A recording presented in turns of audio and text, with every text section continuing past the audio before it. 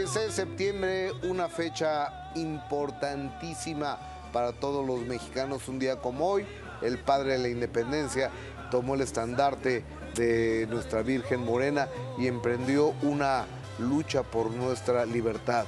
Hasta el día de hoy, para tener un México libre, un México lindo, un México maravilloso, un México lleno de oportunidades, un México que lo mejor que tiene son ustedes o somos nosotros, los mexicanos. ¡Ey! ¡Viva ¡Qué México! ¡Viva! Adi Tuñón, Lalo Carrillo, buenas ¿Cómo tardes. estamos? Muy Buenas tardes. felices. A ver, ayer comenzamos el programa y yo les puse a echar el gritito del mariachi. Híjole. Pero pues ayer a 15 estaban relajaditos. Hoy ya después de acá No, no nos el vayas a poner. ponchecito o algo. A ver cómo va ese gritito, Gus. A ver, quiero ver nada más. Échate uno. No, no, no, Lo que pasa es que me dormí yo temprano porque Ajá. me dolía la garganta, pero Ande, ustedes de la actitud. A ver, ¿De Adis, veras tengo que gritar otra Por vez? favor, ah, para ver la- el Pero comparativo. sí, híjole, bueno. tu foniatra.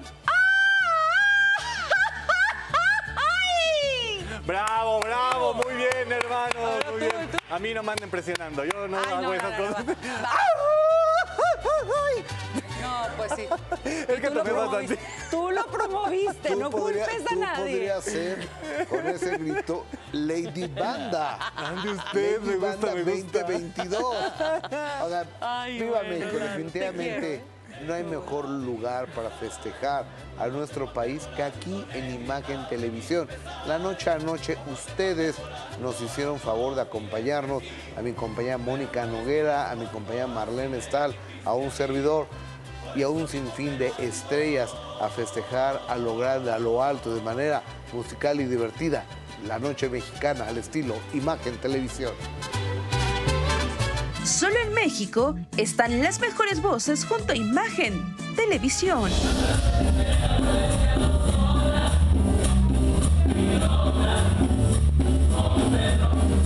Primera mano estuvimos en la grabación de la Noche Mexicana muy al estilo Imagen Televisión, conducido por Mónica Noguera, Marlene Stahl y Gustavo Adolfo Infante, dieron un toque muy mexicano.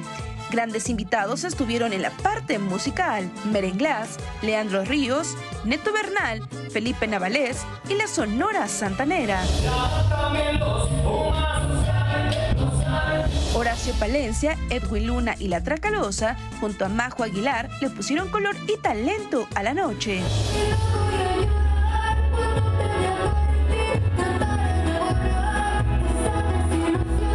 La Sonora Dinamita y la arrolladora Banda Limón dieron el grito muy a la mexicana. Solo en México, las mejores voces.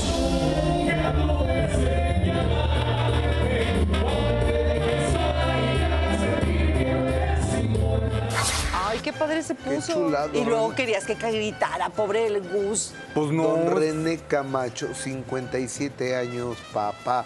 Y además se lleva re bien con todos. Tú sabes que él es el capitán de uno de los equipos de béisbol cuando juegan eh, béisbol entre las bandas. Y el otro es Germán Lizárraga, de, de la familia Lizárraga, que tiene estrellas de Sinaloa. Entonces cada uno son los capitanes. Entonces hay los viejillos y se respetan mucho. Y son amigos y, y- y demás. Son de la misma generación, así como de otra generación. Pues ya es Pancho Barraza, Claro. este, eh, Ju- eh, Julio Preciado y de otra. Fidel Rueda. Eh, sí, y, y- y así son generaciones de grandes músicos, pero ellos, lo- sobre todo los grandes, son clarinetistas.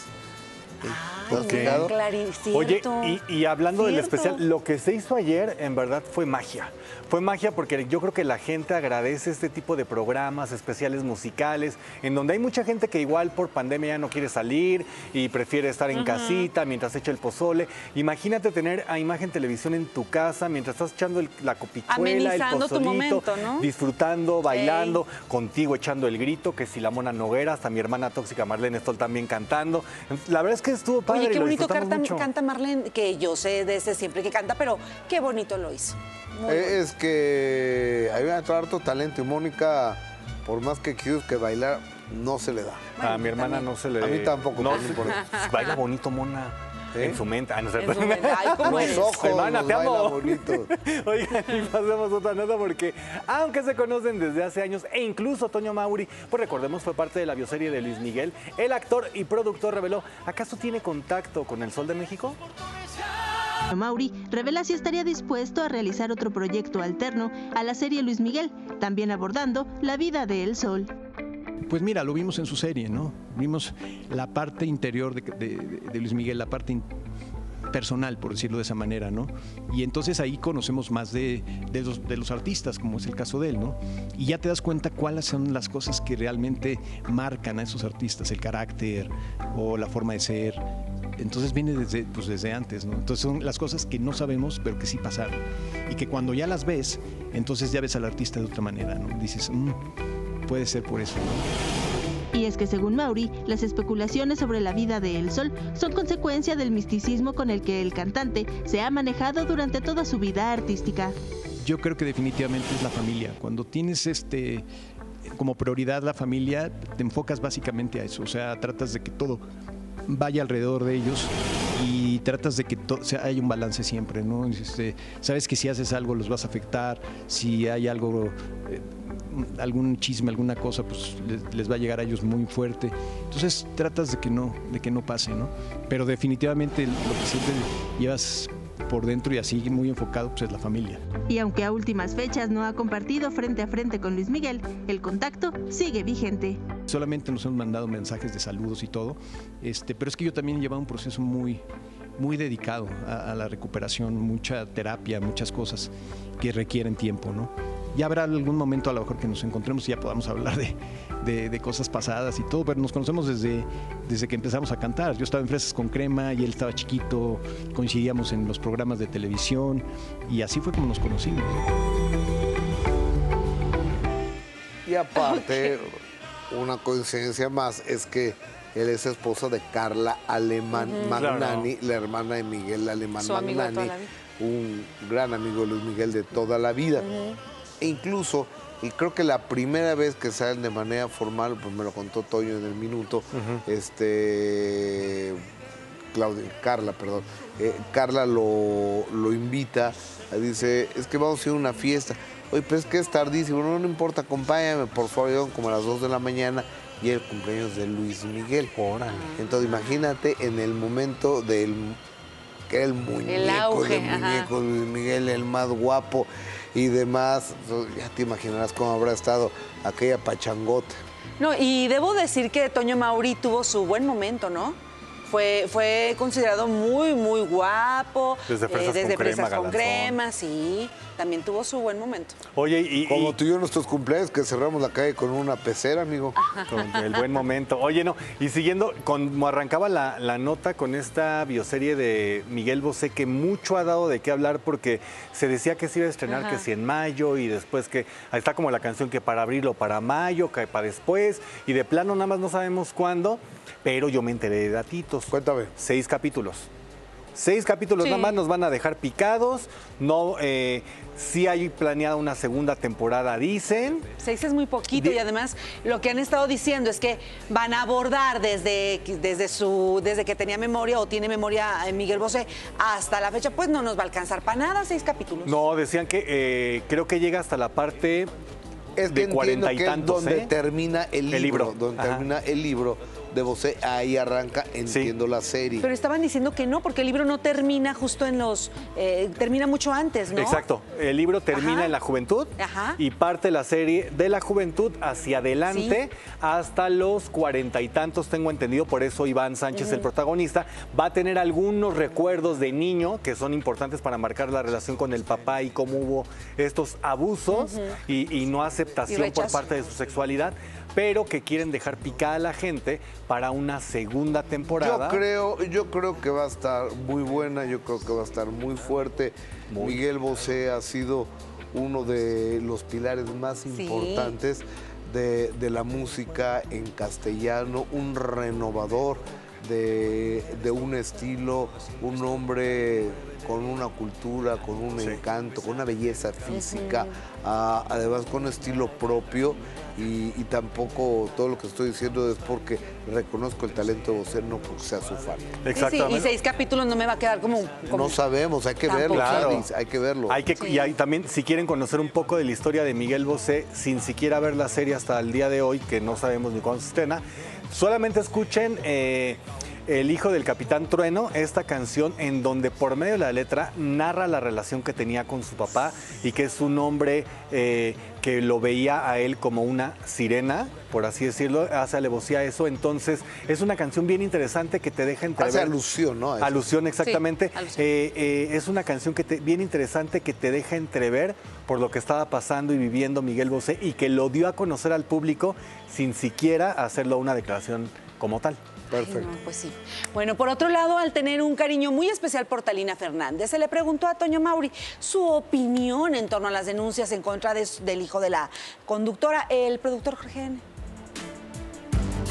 Yo espero que, pues, que sea algo que se aclare y que, pues, como todo, ¿no? O sea, que, que, pues, que se resuelva, sobre todo, porque hay mucho cariño. Yo lo quiero mucho, quiero mucho a Talina. Este, pues, yo crecí en su casa, estuvimos siempre juntos ahí. Y, este, y pues de verdad, lo que deseo es que, se, que, que sea lo que se arregle lo más pronto posible, pero no, no puedo opinar porque no sé qué es, o sea, no me, no me he puesto al día de eso. ¿Qué vas a decir? de esta naturaleza nadie debe meterse y nadie puede meterse porque no estuviste ahí. Y son temas muy delicados, temas que Coco es mi amigo, pero Coco sabe que seremos amigos, pero no puedo yo ni emitir un juicio a favor, ni en contra, ni meter las manos, y Mauri tampoco. Esa es la realidad. Sí, es lo que él hace, ¿no? Pues No meterse. Exactamente, oigan. Y de primera mano, Sandra Echeverría reveló si, pues bueno, a pesar de las buenas críticas que ha recibido su interpretación de María Félix en su serie, ¿será que podría dejar la actuación como tanto se ha dicho? Pero por... De primera mano, platicamos con Sandra Echeverría, quien nos compartió su emoción, ahora que se presentará el próximo 17 de septiembre en un recinto al centro de la Ciudad de México con su nuevo espectáculo musical. Va a ser mi primer show y me emociona mucho poder invitar a la gente a que ya compren sus boletos para este. bueno, voy a estar to- tocando ahí el 17 de septiembre en La Maraca a partir de las 9 de la noche. Y la verdad es que les tenemos un show preparado que yo estoy segura que les va a encantar porque hay covers, hay canciones de Juanga, que obviamente haciendo el homenaje, ¿no? Que, que ayer fueron sus seis años de que, de que pues eh, se fue al cielo nuestro, nuestro ídolo. Así es que bueno, estaremos cantando canciones de Juan Gabriel y obviamente los sencillos que han estado escuchando míos a lo largo de este y del año pasado. Echeverría confesó estar ansiosa ahora que decidió retomar su carrera como cantante tras aproximadamente tres años alejada de los escenarios musicales.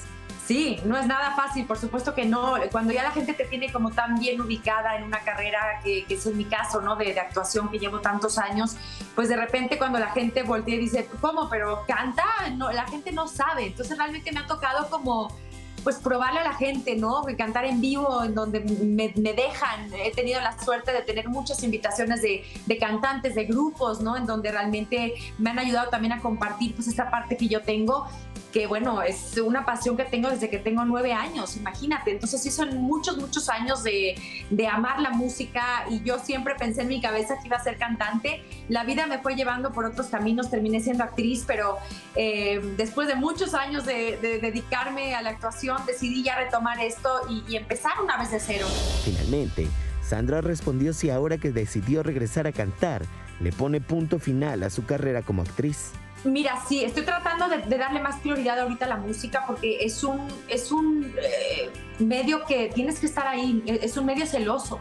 Si yo lo abandono ahorita a, a la mitad del camino, pues la gente se olvida de ti inmediatamente, ¿no? Creo que es importante ir sembrando y darle continuidad a este proceso. Entonces, sí estoy agarrando como cosas muy puntuales de actuación que no me quitan mucho tiempo. Obviamente, María Félix no lo podía dejar ir, es un proyecto que, bueno, que toda actriz hubiera deseado tener y, y soy la más agradecida de haber tenido una oportunidad como esa.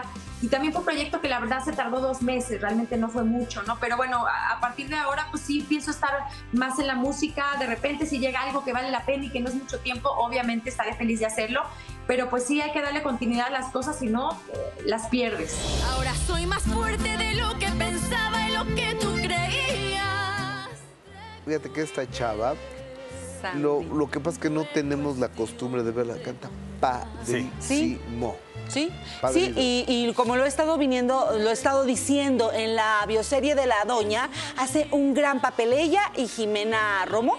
Ajá. De hecho, son tres chicas. Abril es la, es la niña del 0 a, 10 a 16 años. De 16 a 31 años es Jimena Romo, que lo hace también de una manera No, pero de, ce- de admirable. 0 a 16 no puede ser la misma de 0 que los 15. Pues sí se hizo así Pues, muñoncito. ay, sí, sí, soy chiquis. Bueno, de, de niña, pues, porque empieza de niña, no empieza de bebé. Eh, de niña, después de joven, de Sí se 16 pasó, amiga, se pasó Sí este güey. ¿eh? No, pero tú empezaste, Gusto. No, la verdad es que A lo cero lo- lo 16. importante de la, por- de verdad, cuando Jimena Romo, maravillosa. Espectacular. Y cuando estás enamorada de la, en mi caso, pues, que me enamoré de cómo interpreta Jimena, llega Sandra y empieza difícil, pero termina convenciendo porque sí es la doña ya en, en el temperamento, en, en el personaje. Muy bien, muy bien. Que ahora, para Sandra, el ser tan buena actriz resulta su maldición. Porque ¿Por Sandra, qué? pues porque precisamente lo que decía Gustavo, justo le dio en el clavo que dice, qué bonito canta esta mujer. Aunque no Para sabemos. quienes la hemos visto algunas veces, ¿no?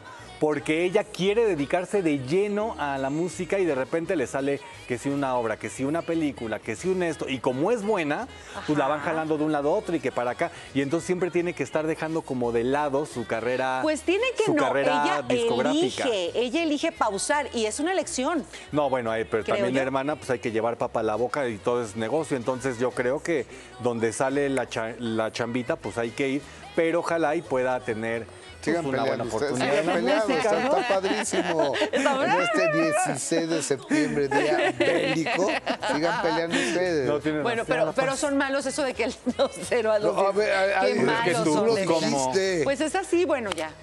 Oigan, Vea. con una nominación al Ariel le estamos dando vuelta a la información y su personaje de Chabelita, siendo parte de- del ADN de la televisión mexicana, la actriz cómica Nora Velázquez confesó, ¿acaso ahora tiene la mirada puesta en Hollywood? Porque esta carrera, te repito, me ha costado mucho trabajo, ¿no? Que me dieran la oportunidad. Y bueno, este personaje maravilloso que me lo escribió Alejandro Licona, que conoció mi trabajo, yo trabajé 10 años en el Bar Guau, y entonces él vio mi trabajo y se inspiró y, y, este, y escribió a Chabela. Entonces Alejandro Licona, el creador de Chabela, pues dijo, esta loca es la que va a hacer este papel. Entonces, que Héctor Suárez, en paz descanse, me haya dado la oportunidad de trabajar en su programa, me haya dirigido a Chabela como lo hizo, que era un actor extraordinario que manejaba la comedia impresionante, ¿no? trabajar a su lado, bueno, fue como si un milagro, ya sabes, de esos milagros que a uno se le dan, dan en la vida, ¿no? Y que, y que los tienes que valorar. Pero, ¿será que con dicho personaje la actriz se siente encasillada en la comedia? Ella misma lo aclara. Para nada. No, porque te repito, fíjate, Arturo Ripstein me ve haciendo a Chabela y me llama a hacer una película hermosa, que es una película de historia de la vida real, con un personaje intenso, fuerte. Yo le dije, yo soy una humil- humilde actriz de comedia, señor. ¿Cómo me va a dar este papel? Se lo dije. Me dijo, usted es actriz, usted lo va a hacer y yo me voy a hacer cargo de que usted lo haga bien. Fíjate qué bonito, o sea, Chabela no me pesó, al contrario, me dio la oportunidad. Yo dije, si este señor reconoce en mí a una actriz, pues entonces yo soy actriz. Finalmente, Nora comentó si ahora que está trabajando en Estados Unidos podría tocar puertas en Hollywood. Pues la verdad no. Yo vivo muy feliz en mi país cuando voy para, cuando iba, porque ahorita no puedo, iba a trabajar allá, iba a eso especialmente, a ver a nuestros mexicanos que yo admiro, reconozco, adoro. Me encanta ir y compartir la alegría porque sé que extrañan México, que extrañan su país, su este, mu- municipio, su rancho, lo que sea, de donde ellos se fueron ellos lo extrañan. Y van y te abrazan y te dicen, Chabela, venga más seguido. ¿Por qué? Porque es como si fuera una partecita de México a verlos allá. Y vamos y nos reímos y nos divertimos padrísimo. Y hago el show y me dan abrazos y nos tomamos fotos. Y me regreso a mi casa porque me encanta mi país, me encanta estar en México. Y las oportunidades que yo he tenido aquí las amo. Me encanta ella, me encanta porque miren en qué madurez de su carrera y de su vida le llega una nominación al Ariel con una historia que no la he visto, pero por la sinopsis, por lo que se lee, es muy, muy conmovedor el hecho de una amistad real entre una mujer mayor y un joven que vive en situaciones muy complicadas. La- Cosas imposibles es la película por la que ella es eh, nominada al Ariel. la Y que, Así son las relaciones humanas. Y quienes hacen, y muchos eh, comediantes te lo han dicho, Gus, que muchos de los actores quienes hacen comedia es más difícil y son como más actores todavía que los, los que conocemos Ajá. en pantalla luego, así de protagonistas de novelas. Porque hacer reír es muy complicado Claro. y tener este timing y este, este sentimiento y cómo te responde la gente, sí requiere de muchas tablas y los prepara mucho, por eso cuando lloran le sale también también a los, a los comediantes. El mismo Chespirito decía, ¿no? Que era mucho más difícil hacer reír que hacer llorar, porque tú cuentas un Creo que chiste. Chaplin también lo Ajá, decía, claro, ¿no? y si tú cuentas un chiste una vez, te ríes, pero cuéntalo tres veces, ya no te ríes. Ese es el gran reto del comediante. Bueno, y bueno, la no actriz. contar el chiste tres veces. Claro, siempre variarle y hacernos reír es muy difícil. La actriz Bella de la Vega disfruta de mostrar su lado pues más sensual en redes sociales, la hemos visto, no se haga. Pero ¿acaso se atrevería a enseñar todo en una famosa revista del conejito? A punto de cumplirse un año y ocho meses de la muerte del señor José Ángel García, su viuda, Bella de la Vega, comparte si mantiene comunicación o relación alguna con los hijos del fallecido actor. Yo creo que eh, cada quien tiene su, su vida, cada uno de ellos eh, sus propias cosas que hacer, incluso hasta problemas personales que cada quien va teniendo y sorteando. Entonces yo respeto toda esa situación, lo cual eh, cada quien creo que ellos también respetan hacia mí. Seguimos con nuestra vida, nos queremos dentro de todo porque pues José Ángel nos, nos une como, como historia. Eso es muy importante, pero pues cada quien su, cada quien su vida. Agradecida por el apoyo de sus seguidores que se ha visto reflejado en sus cuentas bancarias con las suscripciones a su página OnlyFans, De la Vega se mantendrá generando contenido para dicha plataforma. Por el momento sí, porque no he tenido ningún problema. Gracias a Dios todo ha sido bastante sano y lucrativo dentro de todo también. Entonces creo que continuaré hasta donde hasta donde la vida me lleve en ese aspecto, pero también es un OnlyFans tranquilo, no, no es explícito ni nada de eso. Entonces, como a mis fans les gusta lo que yo he estado compartiendo con ellos, pues eso me lleva a seguir dando un poquito de variedad, pero tampoco pasar al otro nivel, no. O sea, sigo en un nivel básico. Considerándose una mujer de extrema sensualidad, a Bella de la Vega le gustaría dejar registro de su físico y erotismo en una revista para caballeros. A mí me gustaría posar para Playboy, ¿eh? Me gustaría, pero tampoco es mi meta. Es nada más como una cuestión de. Tal vez como un poquito de ego, de decir, ay, qué bonito, o sea, este, llegué a posar para Playboy porque pues soy sexy, soy una mujer que, que le gusta eh, ser sensual, etcétera. Pues nada más por ego, pero no, no porque sea mi meta en la vida. Como te digo, me gusta más una cuestión familiar, una cuestión más estudiada, pero sí me gustaría posar para Playboy, sí.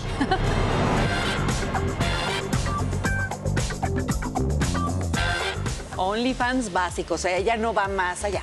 no más Pero por- esta es otra de sus facetas, si hace el Playboy, Ajá. porque ella es un 360. Ella canta, actúa, baila, hace el Only y ahora con miras a la del conejito para enseñar todo. Mira, mira Le nada más, o sea que una, unos tuches monerías. Ay, sí, Bella, que Exactamente, te vaya muy echa bien. muchas ganas. Bella Oigan, de la Bella. De la Bella Vega. de la Vega, de la Vega. Sí. Oigan, y después de que Germán Ortega reveló que ya no quieren que lo confundan con su hermano, pues bueno, ahora Freddy aclaró cómo es la relación entre los Masca Brothers. ¿Hay diferencia entre ellos? Mucha. Muy a su estilo, Freddy Ortega respondió ante las recientes declaraciones de su hermano Germán Ortega. Hará una campaña para evitar que lo confundan con él y mínimo se aprendan su nombre. jugando, no, no, o sea, a mí me pasa igual. O sea, sí, este, a mí me dicen, ¿qué pasó, Germán? Yo, ok, este, ok, está bien. No, por ejemplo, ven mi teléfono, ven que le están marcando a Freddy. ¿Qué onda, Germán? Ching. Pero no, al contrario, yo mi hermano y yo nos amamos y la verdad es que hemos sido un complemento y bueno, yo que te puedo decir de mi hermano sí ha sido más que un matrimonio, ¿sabes? Eh, Treinta y tantos años trabajando juntos, nah, está jugando. Tras esta polémica, algunos aseguraron que entre ambos existían diferencias y que incluso evitaban trabajar juntos. Amo a mi hermano, no piensen en cosas que no son, no, al contrario, en, este, en esta mm, etapa de, de Lagunilla hemos estado mega unidos. Eh, hoy me acaba de decir, oye, ya me hablaron porque obviamente nos hablan por separado para hacer este relatos macabrones, más temporadas, entonces estamos felices porque aún en repeticiones está teniendo un gran rating. ¿Pero acaso Freddy también hará campaña para que no lo confundan con su hermano? Que me digan Al Pacino. No, hombre, no, ese señor lo respeto muy cabrón. No, a mí, este, no, a mí si me dicen Germán Freddy, somos la misma gata para revolcada, ¿no? Te amo, hermano. Pues los, los van a seguir confundiendo, pero la, la verdad de las cosas es que, bueno, sea que son mis amigos, si no se parecen. No, pero sí, en- a mí hasta me pasa, dije, ay, qué bonito habló Germán, ay, no, que es Freddy, se va a Sí, enojar. sí, claro, y así porque, uno se la porque vive. es una dupla, es una dupla y se, nos, hasta ahorita están siempre juntos, pues. Exacto. Está bien, bueno, compañeros, vamos a hacer una muy pequeña pausa comercial. No le cambie más adelante. De primera mano seguimos celebrando México con la presencia musical del gran Claudio Alcaraz. Además, también nos va a avistar aquí en vivo este grupazo, Los Cali. ¡Venga! No se crean que esto termina, esto no termina hasta que termina. Están muy equivocados porque celebraremos en compañía de la gran Alejandra, Alejandra Ábalos.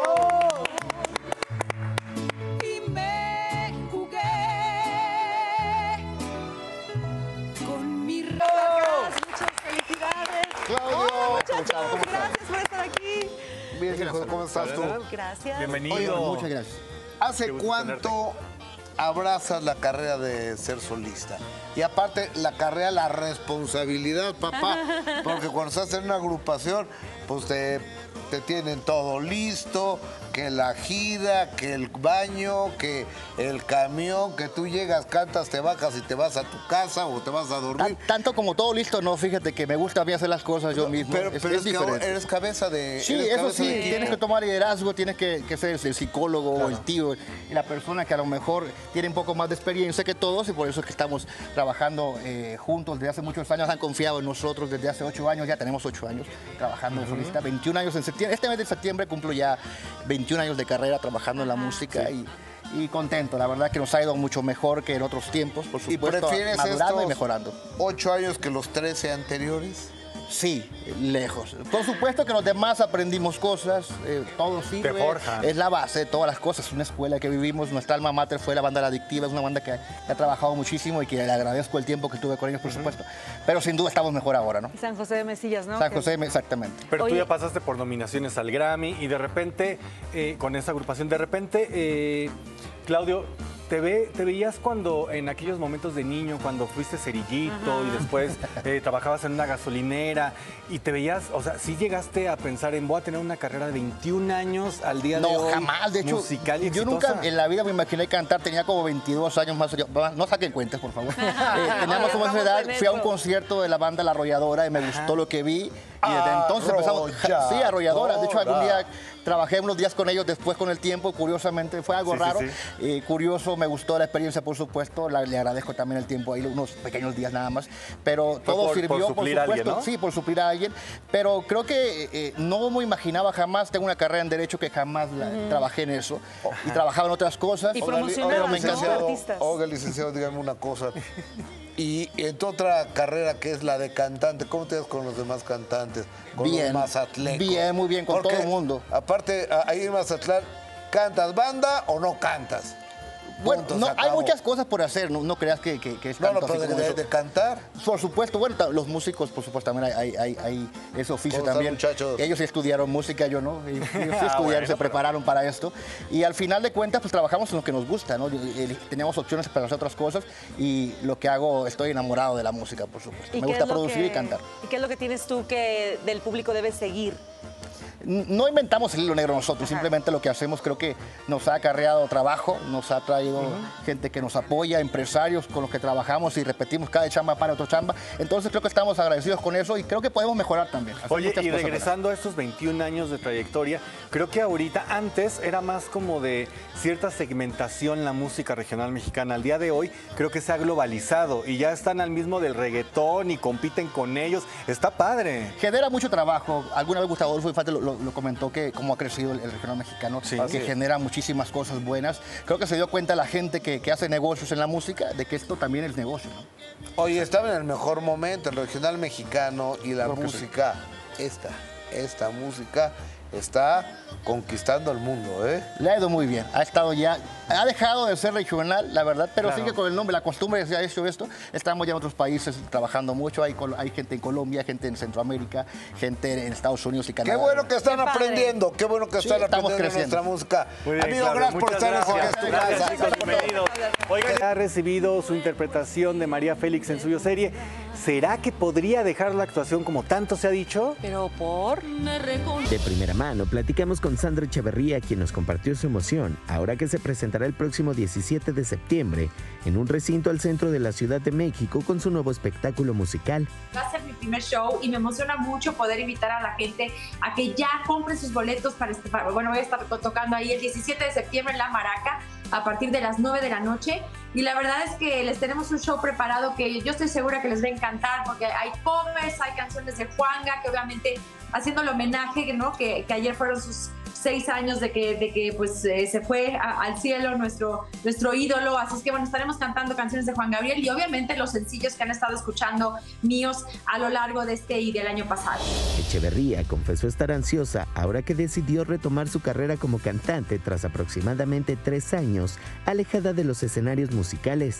Sí, no es nada fácil, por supuesto que no. Cuando ya la gente te tiene como tan bien ubicada en una carrera, que, que es en mi caso, ¿no? De, de actuación que llevo tantos años, pues de repente cuando la gente voltea y dice, ¿cómo? Pero canta, no, la gente no sabe. Entonces realmente me ha tocado como pues probarle a la gente, ¿no? Cantar en vivo, en donde me, dejan. He tenido la suerte de tener muchas invitaciones de, de cantantes, de grupos, ¿no? En donde realmente me han ayudado también a compartir pues esta parte que yo tengo que bueno, es una pasión que tengo desde que tengo nueve años, imagínate. Entonces sí son muchos, muchos años de, de amar la música y yo siempre pensé en mi cabeza que iba a ser cantante. La vida me fue llevando por otros caminos, terminé siendo actriz, pero eh, después de muchos años de, de dedicarme a la actuación, decidí ya retomar esto y, y empezar una vez de cero. Finalmente, Sandra respondió si ahora que decidió regresar a cantar, le pone punto final a su carrera como actriz. Mira, sí, estoy tratando de, de darle más prioridad ahorita a la música porque es un, es un eh, medio que tienes que estar ahí, e, es un medio celoso. Si yo lo abandono ahorita a, a la mitad del camino, pues la gente se olvida de ti inmediatamente, ¿no? Creo que es importante ir sembrando y darle continuidad a este proceso. Entonces, sí estoy agarrando como cosas muy puntuales de actuación que no me quitan mucho tiempo. Obviamente, María Félix no lo podía dejar ir, es un proyecto que, bueno, que toda actriz hubiera deseado tener y, y soy la más agradecida de haber tenido una oportunidad como esa. Y también fue un proyecto que la verdad se tardó dos meses, realmente no fue mucho, ¿no? Pero bueno, a, partir de ahora pues sí pienso estar más en la música, de repente si llega algo que vale la pena y que no es mucho tiempo, obviamente estaré feliz de hacerlo, pero pues sí hay que darle continuidad a las cosas, si no, eh, las pierdo. Fíjate que esta chava, lo, lo que pasa es que no tenemos la costumbre de verla, canta padrísimo. Sí, Padrísimo. Sí, y, y como lo he estado viniendo, lo he estado diciendo en la bioserie de la Doña, hace un gran papel ella y Jimena Romo. Ajá. Eh, De hecho, son tres chicas. Abril es la, es la niña del 0 a, 10 a 16 años. De 16 a 31 años es Jimena Romo, que lo hace también de una manera No, pero de, ce- de admirable. 0 a 16 no puede ser la misma de 0 que los 15. Pues sí se hizo así Pues, muñoncito. ay, sí, sí, soy chiquis. Bueno, de, de niña, pues, porque empieza de niña, no empieza de bebé. Eh, de niña, después de joven, de Sí se 16 pasó, amiga, se pasó Sí este se güey, pasó. ¿eh? No, pero tú empezaste, Gusto. No, la verdad es que A lo como de que cero a voy, lo- lo 16. importante de la... por- de verdad, eh, cuando Jimena Romo, maravillosa. Espectacular. Y cuando estás enamorada de la... En mi caso, pues, que me enamoré de cómo interpreta Jimena, llega Sandra y empieza difícil, pero termina convenciendo porque sí es la doña ya en, en el temperamento, en, en el personaje. Muy bien, muy bien. Que ahora, para Sandra, el ser tan buena actriz resulta su maldición. Porque ¿Por Sandra, qué? pues porque precisamente lo que decía Gustavo, justo le dio en el clavo que dice, qué bonito canta esta mujer, Aunque no para sabemos. quienes la hemos visto algunas veces, ¿no?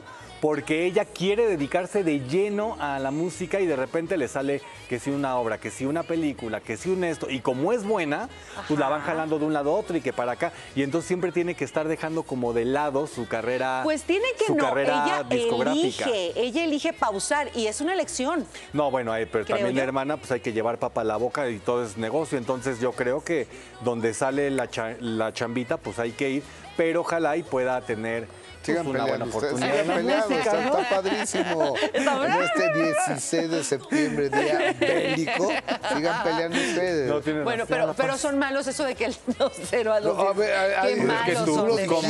Pues es así, bueno, ya. Desde el 2020, aunque fue en abril pasado cuando confirmaron su noviazgo. También los une su pasión por la música. Es la primera vez que voy a hablar y de verdad se los digo, para mí es algo súper privado, mantenerlo para nosotros es decisión. No es un secreto, porque pues obviamente no es un secreto, pero creo que ya no tengo 15 años como para negar relaciones, al contrario, eh, me enorgullece, la verdad, mucho estar al lado de una persona que admiro y que me admira y que crecemos todos los días y nos apoyamos. Justo por eso hemos tratado cuidarlo muchísimo, porque creemos que la privacidad y el que sea algo nuestro en este momento, más que para algo hacia afuera, es mega importante, porque creo que lo tenemos, lo podemos cuidar mucho más, ¿sabes? No, no está ahí en, en todas partes y, y- y es lindo también. eh, jamás fue algo de esconder, más bien una, de- fue una decisión de, de mantenerlo para nosotros. Estamos dementes, dando los besitos. Tu señal, mensaje frecuente, me quita lo malo de sido su complicidad, dicho por ellos mismos, lo que los mantiene enamorados y cuidando el uno del otro, sobre todo cuando los comentarios de externos llegan a ser lastimosos, como por ejemplo las críticas que a últimas fechas han señalado el físico de Dana, especulando incluso sobre trastornos alimenticios. Yo creo que esos comentarios son, son mega complicados. Yo creo, yo lo único que te puedo decir es que creo que ya debemos de criticar el físico de las personas, de, de las personas ajenas. Creo que mientras, yo siempre se lo digo, mientras ella se sienta bien, ella esté bien y esté feliz, eso es lo que más importa. No importa lo que se diga, claro, obviamente, obviamente. A mí lo que me preocupa obviamente es su salud y ella está perfectamente bien disfrutando todo lo que está sucediendo. Hermosa, sexy, la amo. Y mira que han logrado lo que muchos, muchos famosos todavía con más experiencia, más edad y demás, no han logrado. O sea, se ven una pareja estable, Pues, chavos. oye, llevan ya dos años, comenzó la relación cuando justamente en pandemia comienzan y cuando comienzan recordaremos que también les vean pocas expectativas. De hecho decían que Alex se quería colgar de la carrera de Dana, cuando Alex viene de un linaje también, entonces no le hace falta. Sí. Le va muy bien también a Oye, él. yo, en- yo te digo en- cosa, me parece muy gacho que si de repente alguien es más famoso que otra persona, se quiere colgar, ¿por qué no hay amor o qué? Porque siempre van a estar opinando, siempre van a estar opinando para bien o para mal, pero como dicen por ahí, deja que hablen. La realidad es que como bien dice Lalo, ya dos años y muchos no cuentan tanto. No, y ya andan diciendo tanto. que quieren ya hasta hijos, ya platicaron de hijos, No. de boda, ya, ya lo confesaron en algún momento, que sí les gustaba la boda y que sí les atraía lo de los chamacos. Entonces, pues ellos van contentos Digo, también. tampoco tienen 15 años, no lo descartaría, ¿no? Si, si se puede, porque... Una relación que ha sido polémica, desde que iniciaron hasta después que si la diferencia de edades, pero al día de hoy, ¿qué te andas quejando de las diferencias? Ya con que te quieras, sean felices, la pasen increíble, O- o- oye, Lalo, eso es lo importante. Tu, tu look me recuerda mucho a, a la gran costarricense Chabela Vargas. Tápame ¿No? con Qué tu bonito, rebozo. está No, no, hermoso. está, está bonito, ¿no? hermano. Pero ¿a poco no da? No, no, así Chabela Vargas. Pues es inspiración, mira, para los que tengan después. Que es tu canción pues ya favorita, toda esta ¿verdad, semana ya sabes que se celebra. A- me aparte, encanta. aparte a mí, Así me gusta un- mucho una frase Chabela Vargas. ¿Cuál? Ella era costarricense, pero Ah, claro. dice que ella era mexicana porque los mexicanos nacemos donde se nos da nuestra gana. Exacto. No, mi hermano, y lo- después yo de ayer de así, pues ya estaba yo, si tienes un hondo penal, y dije, no, ya me tengo que y ir a este- trabajar. Ya tiene, ya tiene el, el váguido, El váguido, el- Dicen que El José, escalofrío. que José Alfredo Ajá. en el Tenampa, en la Plaza Garibaldi y, y Chabela Vargas, o sea, Se ya ahí. los meseros ahí con las llaves, oiga, ya nos vamos, que les vaya bien muchachos. Bueno, ¿no te acuerdas que José Alfredo muere de un problema eh, de cirrosis, ¿no? Creo que Sí. tenía problema Sí. de alcoholismo. Y entonces él le habla a Chabela y de ahí surge también la frase de la última y nos vamos, porque le habla cuando ya está muy mal, que ya no le, ya no le, le prohibían tomar y él le dice, no importa, vamos a echárnosla, en la última nos vamos. Y esa fue la última vez que ella convivió con José Alfredo. Qué fuerte. Sí, sí, sí. Las grandes amistades con vino. Tequila en este caso, ¿no? Fuerte, fuerte. Yo Oigan, creo que tequila, me Yo supongo. creo no- también no sé. que tequila. Seguro. Y mientras usted está descansando ahí, viéndonos, disfrutando, déjele digo que Kika Edgar y Anaí trabajaron juntas, pero ya hace más de 20 años y ahora Kika confiesa. La de la Bella. De la Bella Vega. de la Vega, de la Vega. Oigan, y después de que Germán Ortega reveló que ya no quieren que lo confundan con su hermano, pues bueno, ahora Freddy aclaró cómo es la relación entre los Masca Brothers. ¿Hay diferencia entre ellos? Mucha. Muy a su estilo, Freddy Ortega respondió ante las recientes declaraciones de su hermano Germán Ortega. Hará una campaña para evitar que lo confundan con él y mínimo se aprendan su nombre. jugando, no, no, o sea, a mí me pasa igual. O sea, sí, este, a mí me dicen, ¿qué pasó, Germán? Yo, ok, este, ok, está bien, ¿no? Por ejemplo, ven mi teléfono, ven que le están marcando a Freddy, ¿qué onda, Germán? Ching. Pero no, al contrario, yo, mi hermano y yo nos amamos y la verdad es que hemos sido un complemento y bueno, yo que te decir de mi hermano, sí ha sido más que un matrimonio, ¿sabes? Eh, Treinta y tantos años trabajando juntos, nah, está jugando. Tras esta polémica, algunos aseguraron que entre ambos existían diferencias y que incluso evitaban trabajar juntos. Amo a mi hermano, no piensen en cosas que no son, no, al contrario, en, este, en esta mm, etapa de, de Lagunilla hemos estado mega unidos. Eh, hoy me acaba de decir, oye, ya me hablaron porque obviamente nos hablan por separado para hacer este relatos macabrones, más temporadas, entonces estamos felices porque aún en repeticiones está teniendo un gran rating. ¿Pero acaso Freddy también hará campaña para que no lo confundan con su hermano? que me digan Al Pacino. no, hombre, no, ese señor lo respeto muy cabrón. No, a mí, este, a mí si me dicen Germán Freddy, somos la misma gata para revolcada, ¿no? Te amo, hermano. Pues los, los van a seguir confundiendo, pero la, la verdad de las cosas es que, bueno, sea que son mis amigos, si no se parecen.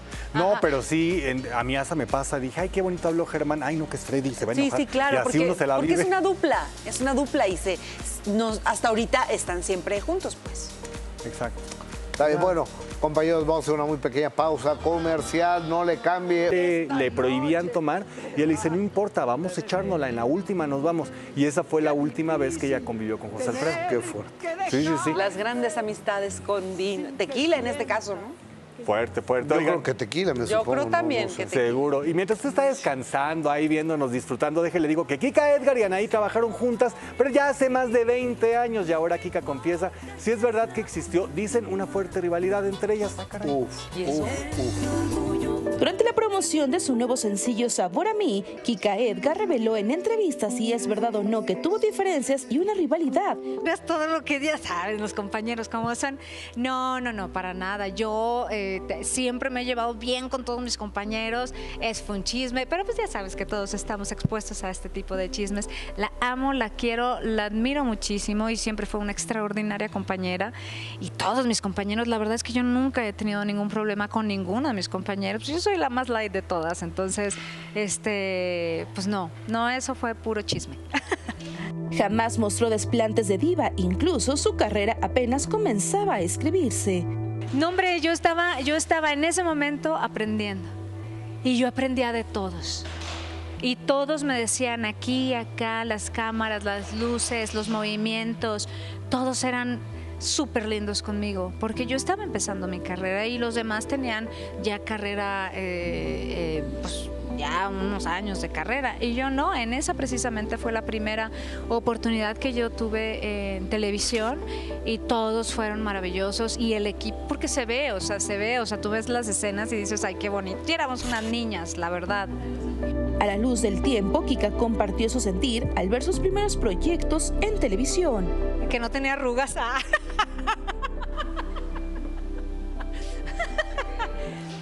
Una niña llena de ilusiones. y que ha cumplido sus objetivos a través del tiempo y me siento muy orgullosa de lo que he logrado hasta este momento porque ha sido en base de mucho trabajo, mucho esfuerzo, pero sobre todo mucho estudio, ¿no? O sea, no ha sido en balde todos estos años.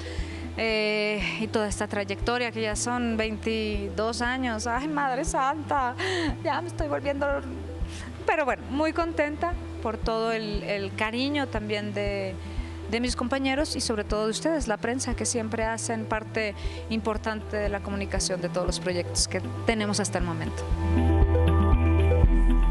Lo que es un hecho es que Kika canta espectacular. Es una, Sí. una, una voz importante, una voz muy limpia, una voz eh, muy potente. Un rostro muy bonito y también una actriz muy temperamental, o sea, es una actriz de peso en alguna historia donde ella participa.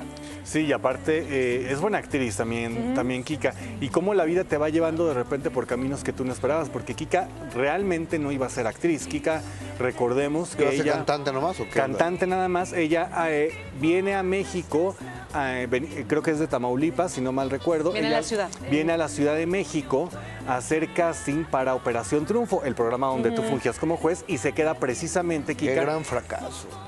Y con Jaime, y mira que tenía todo para triunfar, ¿eh? ese programa.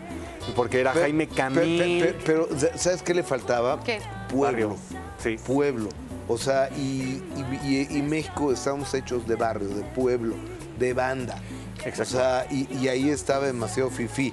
Jaime Camil, este, Susana Zabaleta, este, el único pueblo era yo, imagino. O sea, los mismos concursantes, Y el- cuando, y. cuando tú veías a lo- a la diferencia entre un programa y otro, que era la Academia y Operación Triunfo, veías la diferencia y conectaban más los de la Academia, porque ve- tenías una Tonita, una Miriam, y en el caso de Kika, Sí. Kika audicionó, hay videos de ella durante las filas haciendo sus pruebas y todo, y se quedó en las reservas porque no dio, o sea, pensaron que si alguien fallaba, entonces metían a Kika, y después de ahí le dan una beca en el CEA, comienza carrera en el CEA, en la Escuela de Actuación de Televisa, comienza a estudiar ahí, y quien le da su primera oportunidad, creo, en teatro es María Elena Saldaña, en una obra de teatro, Oye, y ya de ahí comienza. ¿Y sabes quién está en nuestra primera generación de Operación Triunfo? ¿Quién? Mauricio, Martínez. Mauricio Ah, Martínez, Yo de Mau me Chucho. acuerdo.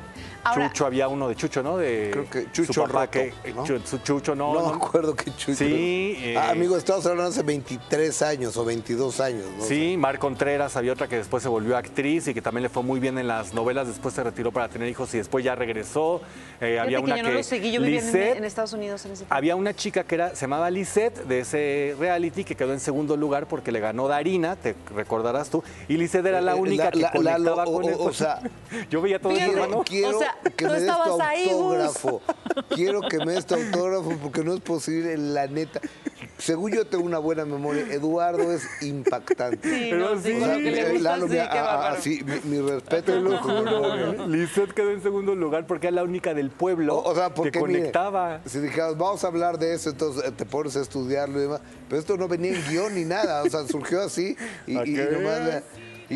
Y, lo que me diga le tengo que creer porque no me acuerdo. Sí, yo también, ¿eh? yo también. Ni, ni- lo vi, o sea, sí, Lalo, todo lo que tú digas. Entonces créanme, créanme, usted en casa Oye, en Ahora- en- oye, amiga, en Chihuahua, la neta, nomás dio al canal 2. La neta, pero además yo estaba, mira, para, te voy a ver a pantalla, yo andaba en los Miamis por aquellos tiempos. Ah, ¿verdad? Yo no veía esos programas. Ya, ya, ya era la señora. Yo veía protagonistas de novela, donde estaba el William, William Levy y. Elizabeth Álvarez. Ahí empezaron, No, ahí se pero ni novios. empezabas tú, sí, ya, ya habías Sí, empezado. claro, desde entonces. Yo ya era conductora de Cotorreando, el programa de, de Telemundo de- Claro. de, espectáculos con Mauricio Selig. Eh, exacto, en 1947. Algo así. Ah. Bueno, el diseñador de modas Mitzi compartirá. Oye, de- ¿Qué- de- qué- qué de- pasó? déjame te cuento qué ¿Qué? pasó un día con, con Cotorreando. Me voy de Un luna programa de espectáculos en Telemundo. Me voy de luna de miel a, a un crucero, llegamos a, a Miami. Ese de siete días en las Bahamas, ya sí. Sí, sí, el, Ay, el- el crucero eh, clásico. Míralo, ese. míralo. Entonces llego ya a Miami, vamos a estar tres días ahí en Miami y suena el teléfono y era eh, Abraham Méndez. Ajá. Gustavo, si te busca Patti Lavalle, dile que no. Que no, ¿qué, güey? Productora de Telemundo. Por favor, di- tú dile que no. Ok, bueno, está bien. Pues Yo no supe, ya me, me salí de, de, shop, de Windows Shopping, o sea, vas a ver lo que es sin comprar, no, no, ya no, venía gastadísimo de la luna de miel.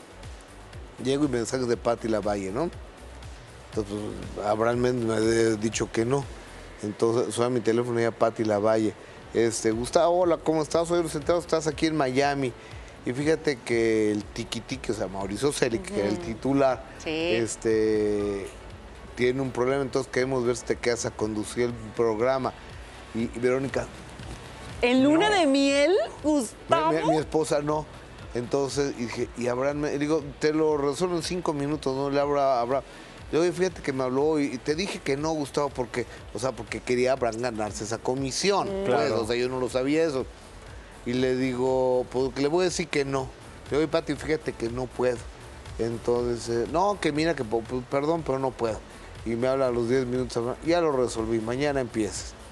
Entonces, Abraham me vendió. Negoció, ajá. Me, me vendió y una semana. Dijo, vende caro tu amor y, ahorita lo y- resuelve. y una semana estuve en mi luna de miel conduciendo, cotorreando que a Mauricio Celia que el tiki tiki lo habían castigado por no sé qué. Ay, qué fuerte.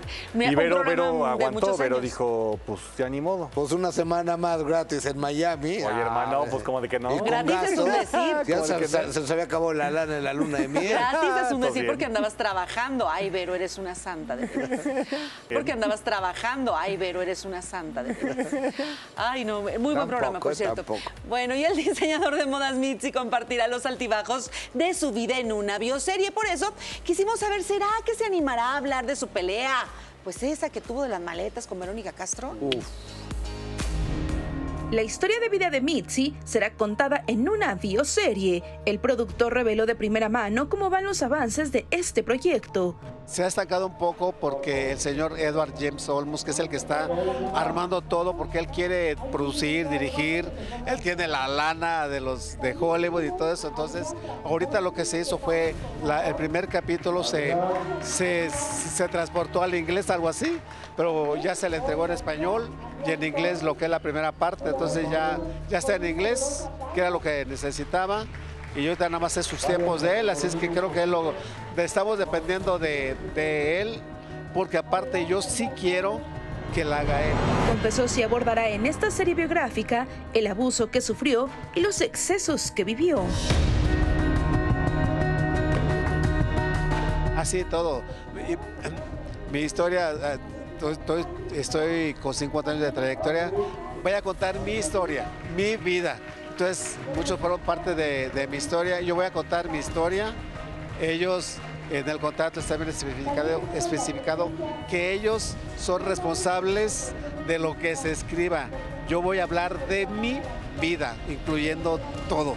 O sea, he, tenido mu- 50 años de convivir con todas estas estrellas y sí voy a escribir, es, va a ser mi vida. Así es que ellos decidirán qué quitan o qué ponen, así es que sí, va a estar, va a estar muy interesante, muy, muy interesante. ¿Pero acaso ya tiene autorizado utilizar en este proyecto los nombres de Thalía, Verónica Castro, Rocío Durcal, Lupita D'Alessio, entre otras? Recordemos que Mitzi vivió grandes momentos junto a estas grandes estrellas. Que Esto ya es responsabilidad de los, de los escritores. Ellos van a decidir qué hacer porque ellos son responsables. Yo voy a hablar mi vida, nombres, eh, pu- punto y coma, eh, va a ser mi vida. Yo no puedo, no puedo inventar algo que no haya vivido. Yo viví esto, esta fue mi vida. Quítenle, pónganle lo que decida, yo me hago a un lado y lo que ellos escriban va a ser responsabilidad. Y ellos decidirán porque sí hay muchas, hay muchas cosas por 50 años de por contar, sí. Yo voy a contar todo. O sea que entonces si hay alguna demanda por ahí, tú no vas a ser responsable de tal. No, yo no voy a estar. Ellos, esto es lo primerito que me cubrí precisamente porque, por lo que, por mis 50 años, o sea que es muy fuerte mi historia, muy, muy fuerte. Entonces, yo voy a escribir mi historia. Hay un abogado que desde un principio él se va a hacer cargo, sabrán si, si, come- si ponen este, los nombres, le quitan, lo cambian, pero que te tienes, las vas a identificar muy fácil. Pues Mitzi, ojalá, que se ¿eh? llama en realidad Cebedeo. Y es una historia de éxito porque Sí. Eh, eh, es un hombre que él y Alfredo Palacios, o sea, dormían en condición de calle en la Alameda Sí. central de la ciudad. De, no sé si en Alameda o abajo de un puente. No, si era en la Alameda. Bueno, eso era Juan Gabriel con Eh, eh, Ana Castro, eh, no sí, sé. eh, Mitzi. Mira. porque un día me dice Mitzi que un día le decía, ¿sabes cómo Alfredo Palacios y yo jugamos a las muñecas? No, no sé. Ay, así. Le digo, seas payaso. Ay. Mitzi". o, o sea, yo no sé, pero en la Alameda Central también, este... Juan Gabriel y Anatan Briz, Ujú. que según esto, Anatan tenía su cabello así chino, ¿no? Sí. Entonces empezó, entonces le regaló una rosa roja. Ajá. Entonces, esta rosa roja, llena de cariño y de tantas cosas que por ti yo siento. Obviamente no, ¿verdad? Pero, Bueno, pero es una versión de Ana también. Eso que comentan de Mitzi en la Alameda, precisamente él ha comentado que en uno de los capítulos de su vida, cuando está en la Alameda, llega una persona que le, le da hospedaje en su casa y que después es una persona que abusa de él, no solamente sexualmente, sino también físicamente. Y hay un capítulo muy fuerte No, que él no, recuerda de la una cosa sopa. espantosa. Una cosa espantosa. Horrible. Me lo Sí, contó en el que minuto que muy- cambié. Exacto. En el minuto que mi que destino. cambió mi destino, en compañía de alguno de esos dos Ajá. programas, me lo contó Mitzi. Yo lloraba. Sí. Si lo quieren ver, véanlo ahí. Es demasiado fuerte incluso para relatárselos en este momento. Yo creo que Mitzi, si contara, independiente y aparte de esto que ya te dijo a ti por primera vez y que es muy, muy impresionante el pasado de, de abusos que, que enfrentó, Ajá. el hecho del glamour que él vivió en los 80s, 90s, con las divas de, las- de las telenovelas, del mundo nocturno, todo lo que él podría contar sería muy bueno. Imagínate la hechura del vestido de Thalía, que de repente Thalía por encima de todos los De cualquier diseñadores, diseñador. de cualquiera, elige a Mitzi porque ya la venía apoyando desde el inicio de su carrera y entonces dice, tú me vas a hacer el vestido y comienzan a planear lo de la cauda en la Y la catedral de San Patricio, la. San Patricio fuera muy llamativo, que fuera una mujer desconocida para, para la gente de allá de Nueva York, sin embargo que llamara la atención por un vestido que pesaba más Ahora, de ¿tú 25 sabes- kilos. ¿Tú sabes cómo Mitzi hace un vestido? No toma medidas nunca. No estudió pat- eh, no, toma, patronaje, no ¿no? toma medidas. Las ve. Ah, sí, a ver. mm, A ver, así, a ver. mm, sí, ok, ya. Vamos a darle vuelta a la información. Y aunque un día como hoy la música mexicana resuena en cada esquina de este maravilloso país y de varios países del extranjero, la cantante Julia Palma lamenta que solo sea en estas fechas en las que se dé difusión a este maravilloso género musical. Oh, mi Dios adorado, tú que conoces de mi aventura, dame un poco de fuerzas para librarme de esta locura. Julia Palma externó su postura sobre la falta de difusión a la música mexicana. Solo en fechas específicas es escuchada por millones de personas.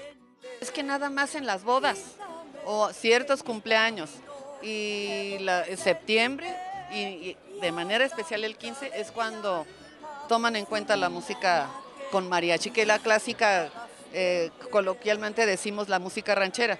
De veras es triste que nada más en septiembre nos hagan caso. Ser leal al regional mexicano le ha traído consecuencias. Incluso se ha sentido discriminada por cantar con mariachi. Discriminación, por supuesto, porque yo he llegado, no digo nombres ni, ni, medios, pero he llegado yo con mi disco. ¿Qué traes, Julia? Me reciben muy bien. ¿Qué traes, Julia? Qué bueno, ya grabaste. ¿Y qué, qué grabaste? Digo, pues mariachi.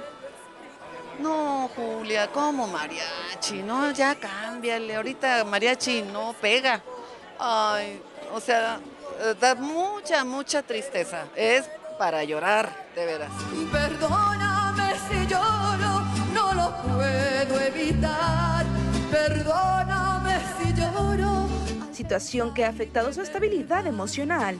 Dime, por supuesto, pues eh, yo vivo de esto desde hace 40 años, gracias a Dios, pero, pero sí es, da mucha tristeza. Sin embargo, en otros países es increíble, hay, hay más estaciones de música ranchera en otros países como Colombia.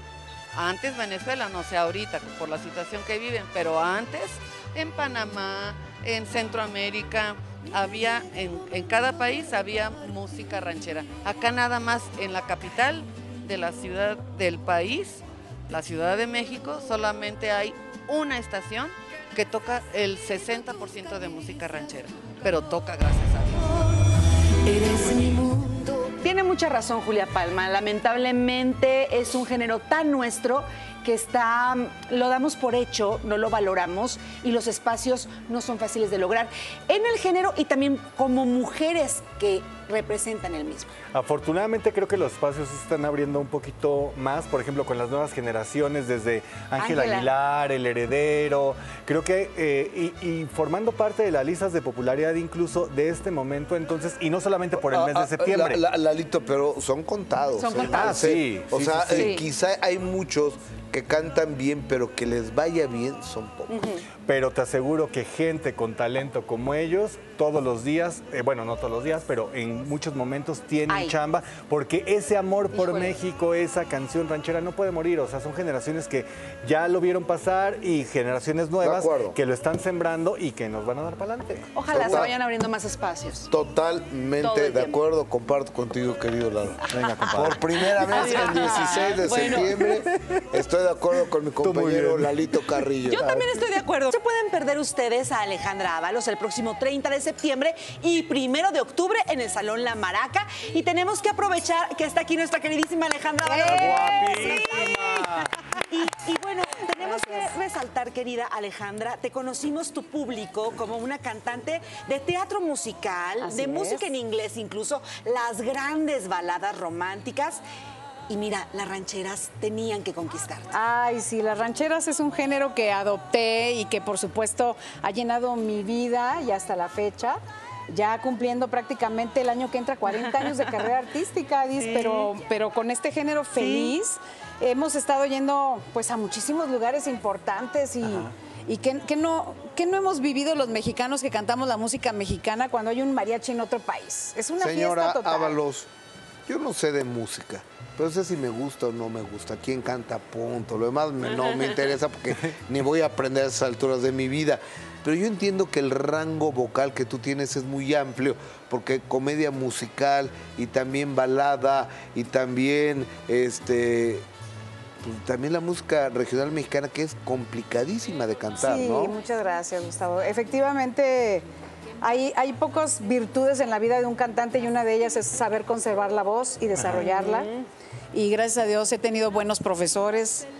Por supuesto, este, mi foniatra, este, Rosa Eugenia Chávez, que ha sido una maravilla siempre en mis momentos de crisis de la garganta, pero ella de verdad nos ha guiado a, a una forma higiénica de usar la voz, que esa es la, la maravilla que pues, puedo presumir. Claro. Eso sí. Y Alejandra, una mujer que siempre está preparándose y que incluso este tema que estábamos escuchando, la apuesta por un amor, una canción escrita por ti, originalmente planteada para una novela. Así Y es. después, ¿qué pasa? Y en este género, es espectacular eso. Sí, eh, Apuesta por un amor, justamente la compuse cuando estábamos en las grabaciones de esa misma telenovela allá en Mérida, Yucatán. De hecho, allá la grabé en un estudio, se la presenté a Angelina Esma, la productora, y al final, pues, la empresa quedó con la disquera de Luis Miguel en lanzar un tema de nuevo disco de Luis Miguel en Ranchero. Y me quedé con mi cancioncita guardada hasta que dije, bueno, ya estoy cumpliendo 25 años en la música ranchera, Ajá. ya eh, creo que es tiempo de también sacar las composiciones que tengo en ranchero y pues me animé y la produje. O- Oye, eh, en ocasiones, digo, entiendo que es un negocio y a lo mejor, digo, con todo respeto, pe- perdón, pero les convenía más la música de Luis Miguel por lo que sea, por el acuerdo con la compañía de discos, porque es Luis Miguel, por lo que sea. Pero, pero sí da muy ni coraje, ¿no? Harto coraje. O sea, ¿Y luego si quién? si ¿Y mi- luego mi, quién, mi- maná? mi canción la, la, la estoy haciendo de manera exprofeso para este proyecto Sí, y me baten. Pues así pasó, pero ¿Te ha pasado varias veces? ha pasado y después fíjate que por algo pasan las cosas. Entonces, cuando yo estreno este tema y lo lanzo eh, en la producción México Majestuoso, que fue también un disco producido por mí, un álbum doble para festejar esta carrera. Es por ahí de- del de dos- canta- 18, ¿no? Ajá, del 18 cantando el ranchero. Pues yo la verdad me sentí muy feliz. Yo dije, qué bueno que tengo este tema y que puedo Claro. gozar de cantarlo ahora aquí para todos ustedes. Y a la gente le ha gustado mucho y también hicimos un super video en el Tenampa. Entonces fue bien bonito todo. Tenemos que hablar de lo evidente, de lo está. De lo visualmente elocuente. Sí, tu vestuario, qué Alejandra. bonito. Es un vestuario. Por favor. Pues es un vestuario con el que ya eh, de alguna manera se representa pues muchas cosas mexicanas, ¿no? El Popocatépetl, el Iztaccíhuatl, está, está acá por, por una, una, este, bueno, pues es que es todo un, Mira, Es que nos es voy a dar la vuelta es una porque obra de arte este, pues tenemos partes de, de nuestras nuestra simbología de mexicana. Está también el calendario azteca, el, ágil- el águila real No, antigua. está espectacular. Es, es todo La un paisaje dormida. bordado a mano, primero, bueno, pintado a mano y después bordado.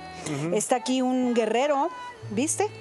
Es un guerrero, este, hay danzantes, hay magueyes, hay de todo. Ale, Pero ¿cuánto es- se- tiempo se tardan en hacer un vestido de esto? Pues como unos dos meses y medio más o menos, porque sí tiene mucho detalle el vestido y es, y es algo que, que a mí me enorgullece enormemente portar. Y así como cuando un torero se viste de luces, cuando una cantante de música regional mexicana porta un vestuario tan hermoso, ¿cómo te sientes? Pues es el uniforme oficial de, de las cantantes. Algo mexicano, algo con motivos mexicanos. No siempre el ranchero, pero, pero me refiero a que no siempre el ranchero en el traje bordado, sino este tipo también de ranchero estilizado. Oye, amiga, y ahorita mencionaste un lugar que se llama El Tenampa. Sí. En la Plaza Garibaldi. Garibaldi. Creo que es el lugar más emblemático.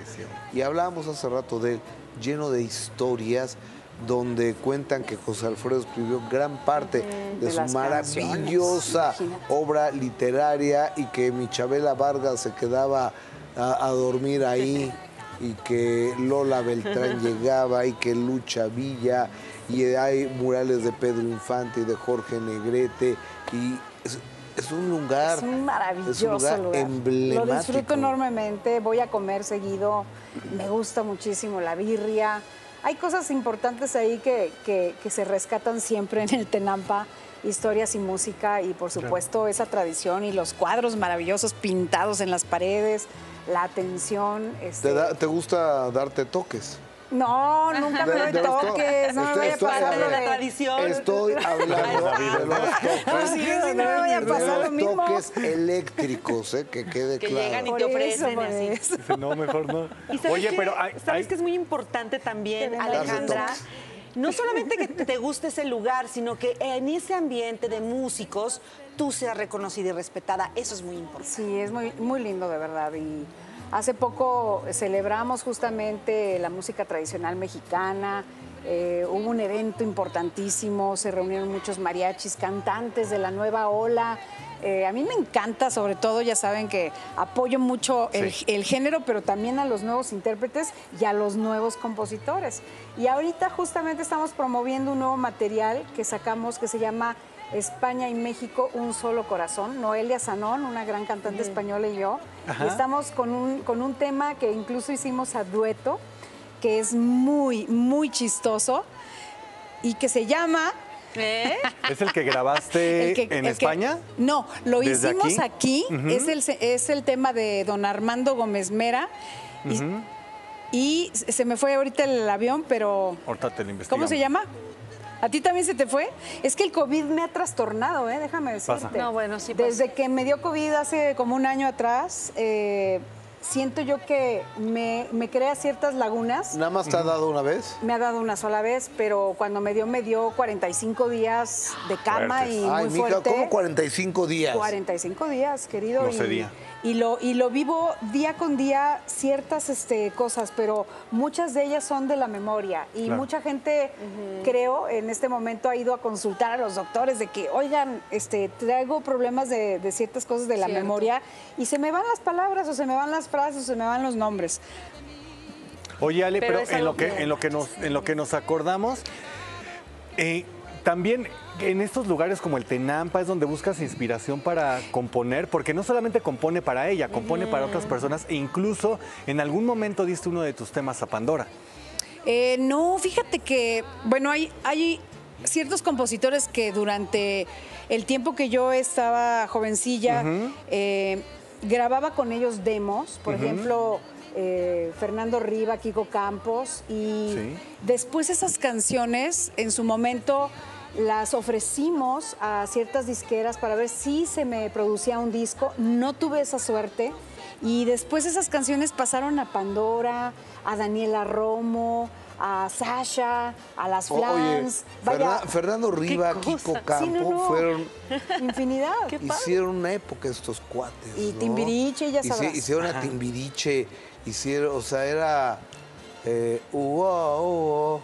No, y qué maravilloso, Alejandra, que tu inspiración escucharla en voz de grandes como ellas, ¿no? No, y sí, porque Pandora, Ahora, Reina, los demos, te la- lo juro la- que los la- hacíamos la nosotros, registraste. Analí y yo. Ajá. ¿Te has Sí, claro. registrado? Sí, sí, Porque cobras una lana. La lana es todas, lana. todas las canciones como Eso. compositora están siendo registradas, bueno, desde hace mucho, pero Y si no, ahí cada tengo, nueva, ahí ahí tengo va. un compadre eh, ahí. Pero oye, No, tú te vas, verdad, de verdad. vas aprendiendo como paso a pasito eh, en esta carrera. Nunca hay, hay eh, nunca se detiene el tiempo para aprender. Y yo sé también que al día de hoy tú produces tus videos, tú diriges tus videos, también, pues sí. con toda la experiencia, la expertise, ya, ya ahora sí reflejas todo lo que es Alejandra Ábalos en una producción completa. Sí, y también hago canciones por pedido. O sea, si tú me dices, oye, tengo un programa nuevo que quiero sacar, hazme una cortinilla, hazme música para, pues no Jingles, sé, ajá. para el opening o para, el- para las películas o para lo que se te ocurra, te hago de acuerdo a la trama las canciones. Oye, ¿y te han pedido ¿Y me alguna vez un corrido? No, no me han pedido No te han pedido, pero sí le entrarías. Pues no sé, este es un género que no manejo, pero ¿Y me pues cobras muy como caro? No. Dice, ¿no te gustaría regalar una cancioncita para un programa de Facebook que tengo? No, de verdad, de verdad. De verdad, de verdad. No, pero, pero que quien trabaja tiene que Claro, claro. O Así sea, como, de- bueno, el talento de la este- señora no, es- no es de gratis. Eh, hay una canción que hice para, para un programa que me hablaron ex, exprofeso de, oye, es un programa de milagros.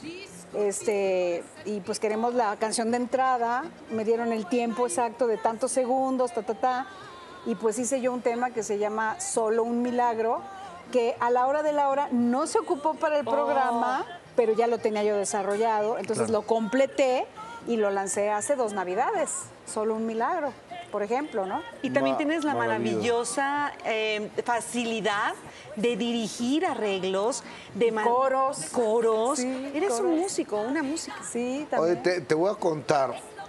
Digo, digo, eres una mujer completa y, y eres una mujer orquesta. Pero fui a ver hace poco a, a este cuate que es un showman, Andrea Zanetti, ¿lo has visto? Ah, claro, por Bueno, es un supuesto, cuate que su fan. canta, baila, este... Toca el piano extraordinario. to- toque- es eh, concertista de piano y habla idiomas y demás. Entonces dice que está reconstruyendo su casa en Querétaro, entonces tiene que ir a comprar pinturas. Entonces un día le dice a la señorita, ay señor Zanetti, ya supimos que aparte de cantar, también toca el piano. Entonces iba Fernando, su director musical, y dice, deja eso, también baila y también compone y también sabe de música clásica y, y demás. Y, y le dice la, la señorita, dice, sí, es que el tiempo está muy difícil, hay que entrarle a todo, ¿verdad? Pues que sí, ¿no? O sea, en vez de que re- reconocía que es un que, showman, wow. no, sí está cañón, Hay que- esto hay hay que que hacerle de todo. Y, él lo sí, cuenta en es su cierto, show. Es cierto, y es bonito, es bonita anécdota. Este, pero sí es uno de los más completos artistas que yo he visto, ¿eh? Sí, yo también. De verdad, que yo he visto y me encanta y siempre lo disfruto muchísimo. ¿Cómo te gusta que te presenten? ¿Actriz, cantante o quieres que eh, hablemos Pues- de todos tus dones? Pues cantante, actriz y productora puede ser, o Ajá. cantautora, actriz Sí. y productora, porque sí No, me he oye. vuelto eso, ¿no? De una forma más fácil, Alejandra Ábalos. Y ya. Tú- Sencillo tú- a, ver, Alejandra, te- te- ti- tienes cuatro décadas que avalan lo que has venido haciendo. Sí, no, te vamos, parece no te vamos a confundir cortito con nadie y no te vas a confundir con nadie. Sí. Y este, o lávalos. Sí, sí. Y que aparte que sientes que de repente las nuevas generaciones sí ubican perfecto a Alejandra Ábalos. O sea, no, A mí es, me gusta no es algo que cueste trabajo, la No, gente te ubica.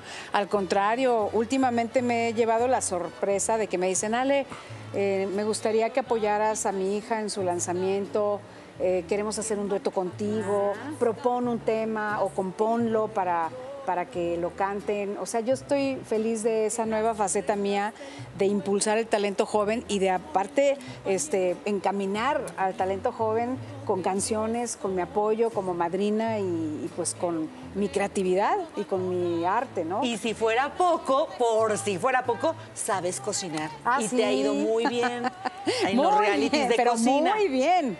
De verdad ¿No? de que sí, ¿eh?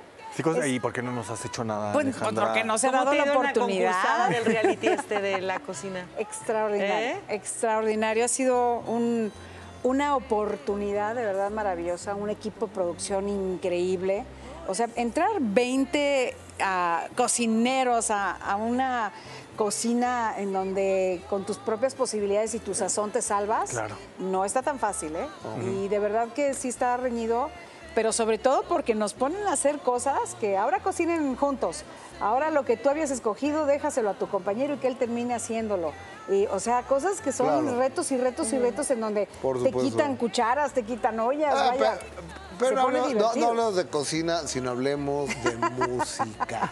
Pues A- a- claro, a- hablemos Alejandra de Ábalos, música. ¿cómo- ¿cómo cierras este 2022? Pues mira, este, el estreno de este tema Senda Prohibida con eh, Noelia Sanón, con Alejandra Ábalos, el disco que está, eh, es un compendio de canciones de ella y mío que se llama España México en un solo corazón. Estamos también pues con el show maravilloso el 30 de septiembre, 1 de octubre, con un chorro de compañeros, ¿eh? Carlos Cuevas, Manuela Torres, mi querida Rocío Banquels, David Noriega, ¿Dónde va a Marcela? Mistral, este, pues en la Maraca, en la Maraca vamos a tener ahí Ahí un nos momento vemos. extraordinario. Ahí nos vemos. Y, luego fíjate que la gente, bueno, que se llama el show, yo no le puse el nombre, Ajá. pero se llama Noches de Cabaret porque la intención es irnos también de gira con este espectáculo Claro. a los cabarets de todo México. Pero hay gente que dice, es que ese título ya lo había usado la Méndez Sí, hace claro, no sé cuánto Lu- tiempo. Lucía lo usó. Efectivamente. Pero pues díganle eso a los productores, porque yo no soy la productora de este show. Sí, O no, y que, que a ti no, traiga, no caiga la bronca. al final Pero sí, además es encierra un cierto. concepto, ¿no? Y es válido. Pues yo creo que sí es válido. Yo supongo que, que una noche de cabaret también, eh, creo que estaban... Durante el año, durante los años que hemos estado trabajando, mucha gente ha usado ese título, no nada más nosotros, pero, pero bueno, es que de eso Pero- se trata, mira, es un show de revista. Vas de una noche cabaret, de cabaret, Claro. una noche de amor, una noche de romanticismo. Y una noche loca. Gracias. Ah. Ahí viéndonos, disfrutando, déjele digo que Kika Edgar y Anaí trabajaron juntas, pero ya hace más de 20 años y ahora Kika confiesa si es verdad que existió, dicen, una fuerte rivalidad entre ellas. Ah, caray. Durante la promoción de su nuevo sencillo Sabor a mí, Kika Edgar reveló en entrevistas si es verdad o no que tuvo diferencias y una rivalidad con Es todo lo que ya saben los compañeros cómo son. No, no, no, para nada. Yo eh, siempre me he llevado bien con todos mis compañeros. Es un chisme, pero pues ya sabes que todos estamos expuestos a este tipo de chismes. La amo, la quiero, la admiro muchísimo y siempre fue una extraordinaria compañera. Y todos mis compañeros, la verdad es que yo nunca he tenido ningún problema con ninguno de mis compañeros. Pues yo soy la más light de todas, entonces, este, pues no, no, eso fue puro chisme. Jamás mostró desplantes de diva, incluso su carrera apenas comenzaba a escribirse. No, hombre, yo estaba, yo estaba en ese momento aprendiendo. Y yo aprendía de todos. Y todos me decían aquí, acá, las cámaras, las luces, los movimientos, todos eran súper lindos conmigo, porque yo estaba empezando mi carrera y los demás tenían ya carrera, eh, eh, pues ya unos años de carrera. Y yo no, en esa precisamente fue la primera oportunidad que yo tuve en televisión. Niñas, la verdad, A la luz del tiempo, Kika compartió su sentir al ver sus primeros proyectos en televisión. que no tenía arrugas. ah.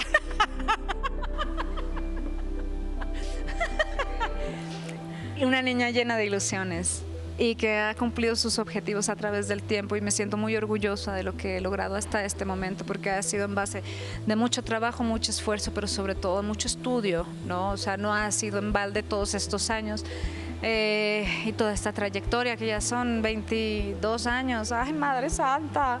Ya me estoy volviendo pero bueno, muy contenta por todo el, el cariño también de, de mis compañeros y sobre todo de ustedes, la prensa, que siempre hacen parte importante de la comunicación de todos los proyectos que tenemos hasta el momento.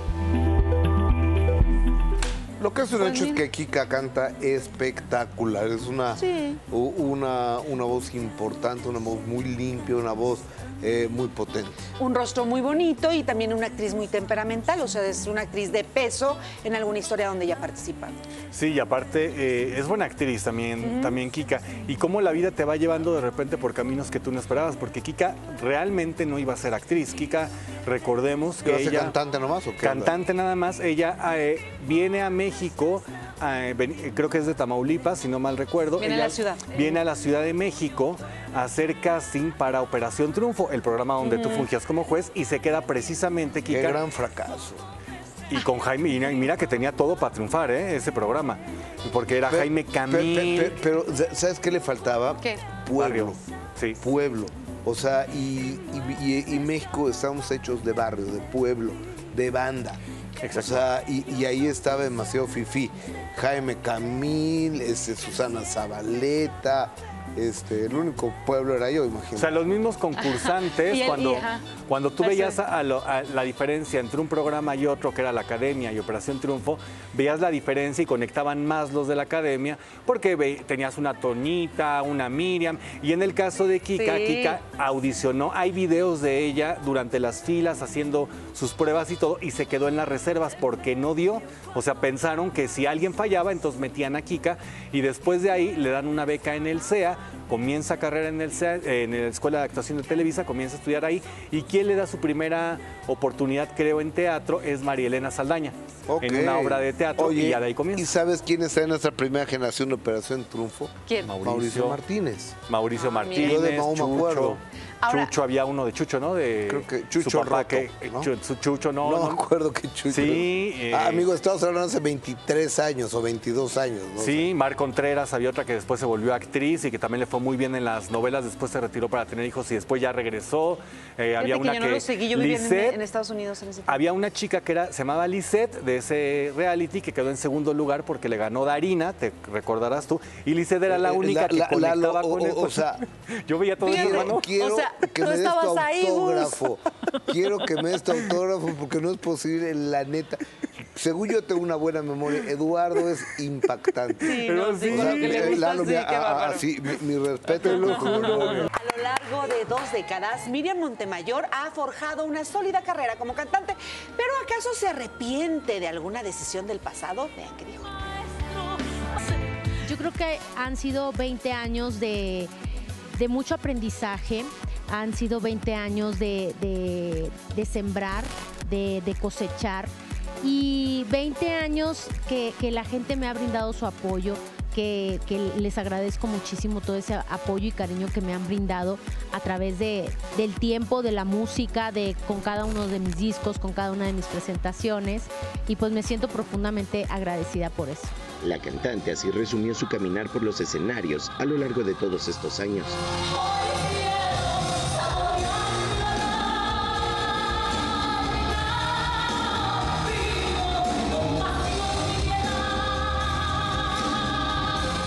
Es que yo creo que estos 20 años han sido de formación, como lo decía hace un momento, de, de aprendizaje, de crecimiento, de madurez y en este momento de plenitud en todos los sentidos, en lo personal, en lo profesional. Me conocieron como la niña de la camarita y esa niña se hizo mujer, ya me casé, tengo dos hijos, a Fran, a Sofía. Y pues feliz, feliz y plena en todos los sentidos, gracias a Dios. Finalmente, Miriam respondió si hay algo de lo que se arrepiente en su carrera, agradeciendo además a todos sus seguidores por todas las muestras de cariño.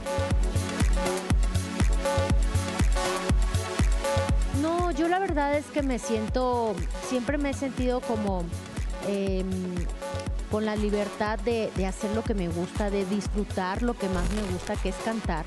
Disfrutar de todo lo que conlleva esta carrera, arriba y abajo del escenario, porque a veces uno disfruta y, agradece el aplauso, pero también disfruto mucho el hecho, no sé, de, brindarle a la gente el tiempo que la gente me hace el, favor de, de brindarme con, con cada uno de mis discos, con cada una de mis presentaciones. Entonces, yo disfruto mucho esta carrera. Y te voy a arrancar el corazón con estas manos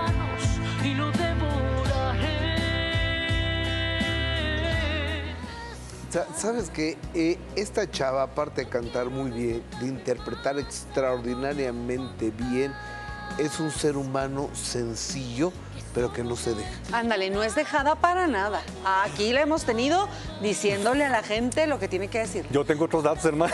Porque dicen que es complicada. O Ah, sea, no. aquí cuando ha venido se ha portado Ah, ver, con- espectacular. eh, No, no, estamos diciendo que no es dejada. Con, con Hugo Mejuto. O sea, pues, con Hugo. Mejuto se No, pelea todo el mundo. Pero con los de la academia, pero con Hugo, pero en su momento también cuando ella hizo en Monterrey Jesucristo Superestrella, junto con Mauricio Martínez. Ajá. Hicieron algunas funciones.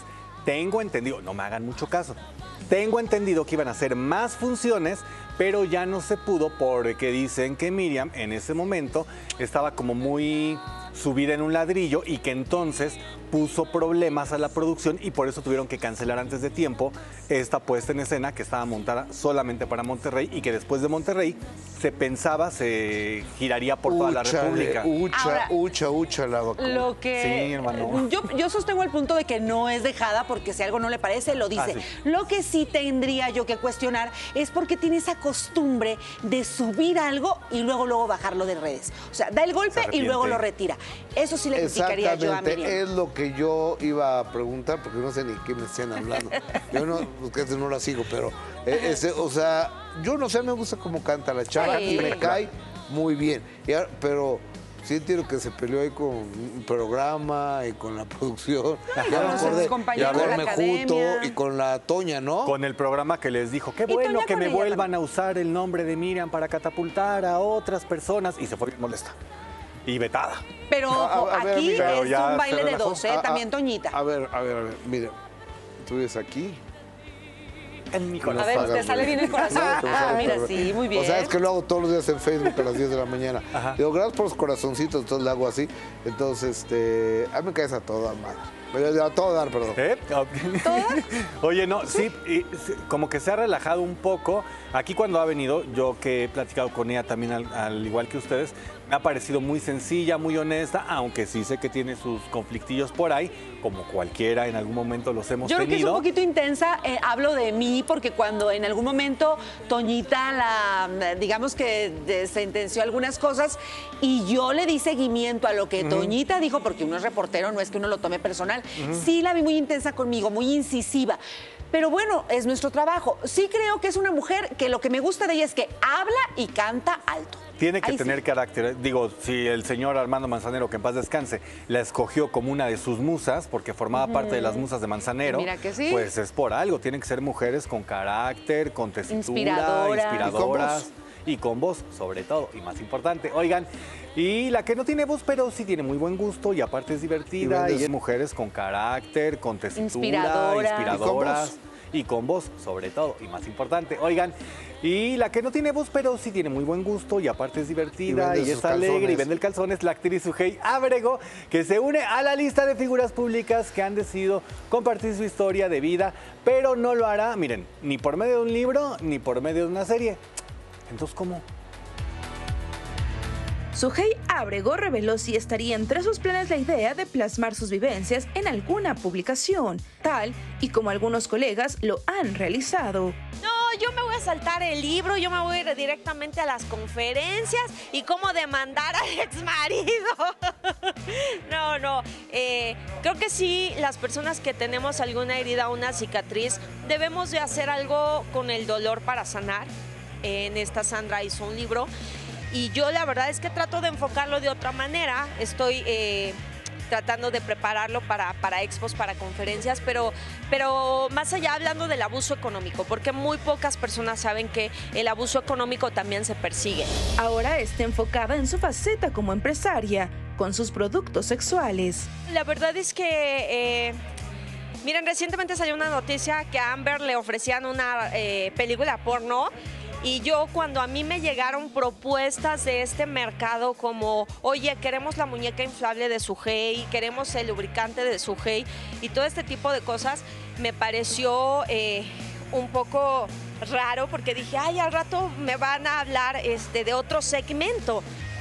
Pero pues creo que canalizándolo de una manera empresarial ha funcionado. Me siento cómoda con lo que hago. Todos los lunes de live en mi Instagram se generan nuevas oportunidades de venta. Y, y te digo, o sea, ahora tengo la página VIP, ahora se suma más talento. Y sí, la verdad es que me ha permitido una solvencia económica. Mientras los productores me tienen olvidados en la televisión, los hombres me tienen en su mente. Así que yo estoy contenta.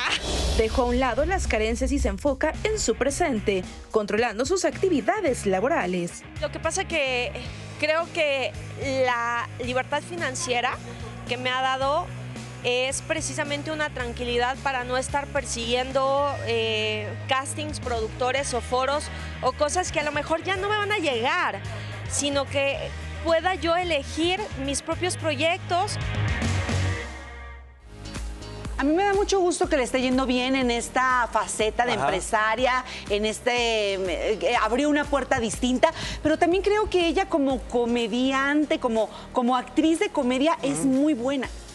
Y sí se la está perdiendo Pues, el público. Mira, yo, yo recuerdo, yo no la recuerdo de actriz Sí. de comedia, soy honesto, yo la recuerdo de conductora y cuando estaba Ah, claro, en también. este programa de Canal 4, que decían que era una de las cinturas más breves del espectáculo, porque era una cosa así espectacular, o sea, sí. Curvilínea, sí, pero ajá. acinturada. Llamaba mucho la atención que fue cuando empezó a hacer las portadas de, creo que era H, y empezó a hacer así cachondona. Estamos hablando de hace 20 años. Pues de cuando yo Más recuerdo que inició, eh, espectacular. Después se me pierde de vista La vuelvo a ver en menciones y de repente eh, yo la veía rara, la veía triste, ella misma se alejaba de las cámaras Ey. y después reaparece otra vez, pero aquí la vimos, nos tocó estando aquí en de primera mano el paso de, de Sujei, de cómo de repente se empodera, se vuelve más sensual, más cachondona, que viene esta separación del marido y entonces dice, ahora sí voy con todas y le ha ido bastante bien y lo que te funciona en esta vida, mientras te hagas sentir bien y sea un trabajo digno que lleves el dinero a tu casa de la manera correcta, pues ¿por qué no? O lo que tú consideres correcto, ¿ah?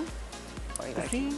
Lalo, pues tu biógrafo Sujei, ya, ya lo escuchaste, qué bonito se expresa. Quiero ser su socio. No, Pues mira, yo pues, empaqueto el pues no pero... velochones No, y ya. pe- ¿Para qué eh, tiene a Cedillo, tiene a Cedillo de socio. No importa, Alfredo siempre otro, otra visión. Mira, yo a Asia la llevo. ¿Y, y quieres? en Asia hay el mercado, ahí, ahí es el mercado, ahí es el futuro. Adis, porque no se deja, pero Sujei, ponte en contacto conmigo, te tengo una muy buena propuesta.